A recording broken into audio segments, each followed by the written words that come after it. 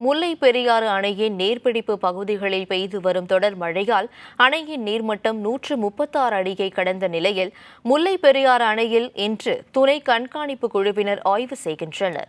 தற்போது கேரளாவில் பருவமழை தொடங்கி வலுவடைந்துள்ள நிலையில் முல்லை பெரியாறு அணைக்கு நீர்வரத்து அதிகரித்து அணையின் நீர்மட்டம் நூற்று முப்பத்தாறு அடியை கடந்துள்ளது. இந்த நிலையில் அணையின் நீர்மட்டத்தை நூற்று நாற்பத்தி இரண்டு அடியாக உயர்த்த செய்யப்பட்டுள்ள முன் ஏற்பாடுகள் மராமத்து பணிகள் குறித்து துணை கண்காணிப்பு குழுவினர் இன்று பெரியாறு அணையில் ஆய்வு செய்கின்றனர். மேலும் மெயின் அணை பேபி அணை கேலரி பகுதி மதகு பகுதி மற்றும் அணையின் நீர்வரத்து நீர் வெளியேற்றம் குறித்தும் குழுவினர் ஆய்வு செய்ய உள்ளனர். இதைத் தொடர்ந்து துணை குழுவின் ஆலோசனைக் கூட்டம் நடைபெறுகிறது.